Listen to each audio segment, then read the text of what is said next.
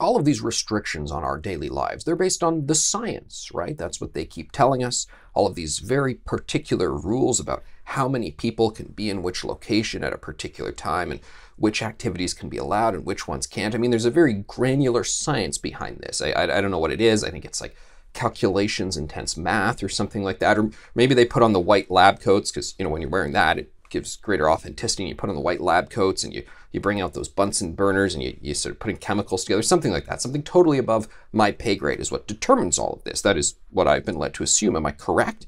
Well, I don't know because there's a interesting little situation that unfolded in Ontario that's that's leading me to actually doubt that all of this is 100% science based. Cardinal Collins, he is the Archbishop for the Diocese of Toronto, and he started this petition calling on the Ford government in Ontario to change the rules around uh, religious service attendance, how many people can go into places of worship. It was set at 10. He said, This makes no sense. It's an arbitrary number. And he recommended it be placed at a, at a percentage of allowable capacity. And I guess he referenced one place of worship uh, that he had that had 1,500 seating capacity. So he said, only 10 people in a place of 1500 but then there's another place that can only fit 100 people but they can still have 10 people he said it makes no sense. And he got this petition going and he sent it out uh, to his own religious community, but also encouraged other faiths, synagogues, mosques, and so forth to get involved. And this is a person who's really well respected in his community. He has a voice.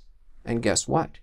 The rules changed. And they moved to exactly what Cardinal Collins was calling for, away from that arbitrary, that was his word, arbitrary rules about 10 persons only to a percentage of capacity, 15%. So he got a victory there. He accomplished something. Is Cardinal Collins uh, on on the side? Is he also an epidemiologist? Is he like a part-time public health official? Did he put on the lab coat and did he, you know, do all the fancy science experiments? No, he's a man who who's been thinking logically about all of this and he, he cares passionately about his community and what he does. And he made his voice heard and he rallied other voices. And guess what? I assume that there was quite a lot of people who took him up on that petition offer, and the government felt the pressure, and then they changed this policy that Cardinal Collins was correct, made no sense. A, a, bit of a teachable moment there for everyone in Ontario who's frustrated this restriction or that restriction, and, and they do go, what's ever going to make these people change their minds? Maybe, maybe they just need a different Bunsen burner, or maybe something is off with the, the science calculations and so forth, or maybe, just maybe, it is a lesson that make your voice heard, get like minded people to join you, get those petitions going, whatever it is, lobby the government. I know it can seem futile, but this is an example. Cardinal Collins did it, it works. Some of these decisions, arbitrary?